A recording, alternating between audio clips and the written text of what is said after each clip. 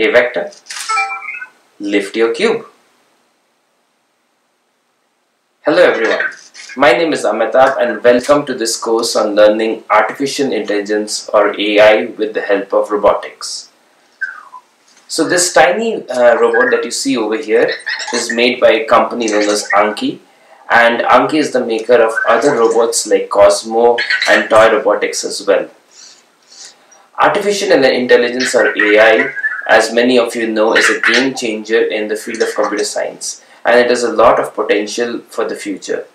However, teaching or learning artificial intelligence is not that easy and while there are a lot of theoretical concepts which can be explained on the board, the best way I have found to learn about AI is with the help of something that actually demonstrates it, like this robot.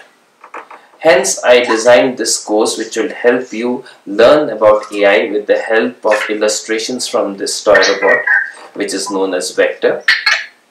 This curriculum is based on AI for K-12, an organization which is developing AI curriculum for K-12 grades in the United States. In this course, you will learn about different aspects of AI with the help of examples from this robot. For example, perception, how does this robot see and visualize things? Representation. What data structures does this robot maintain to learn about its environment? Learning. How does the robot learn stuff? That covers different aspects of machine learning. Human robot interaction or natural interaction.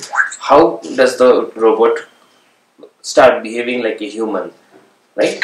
How does the robot start getting emotions and those things which contrast humans from machines. And last of all, societal impact. Imagine that robotics are going to be a main part of workforce in the next 20 years. What impact will, uh, will uh, these robots have on us as humans? And how can we de design and develop these technologies to aid us instead of harming us? At the end of this course, we'll have a project for all of you to learn and then we'll wrap it up.